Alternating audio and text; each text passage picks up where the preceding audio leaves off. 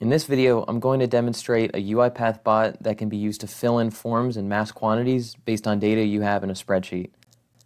In this example, say you have a spreadsheet of business expenses, and in order to get reimbursed, it's required to submit a reimbursement form with all this information in it. So if we have all of the information handily in a spreadsheet, instead of filling out a form for each and every row of data, this bot will read in the spreadsheet and write each field to the correct position in the form. The first step is to open up a blank template of the form and start filling in where we want each field to go, with each field being a column name from the Excel worksheet surrounded by square brackets. So to have the date field go here, just type out date in square brackets.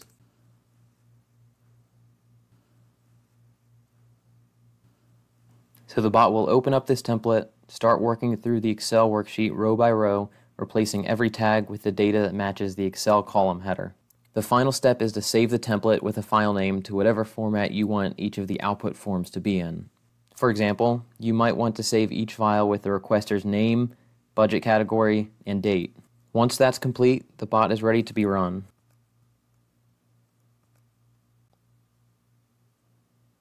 Now it first asks you to select the Word template file. And then the Excel data file. And then tell it what format you want the output files to be.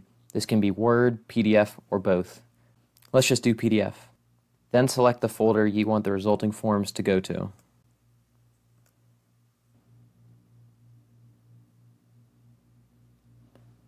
Then the bot will start filling in all the information from your worksheet and save each file accordingly.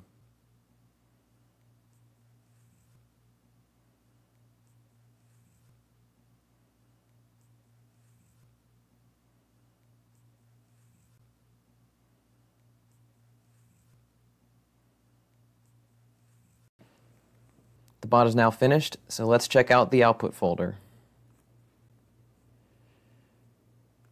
and you'll see 20 reimbursement forms as PDFs, each one having the correct information filled in.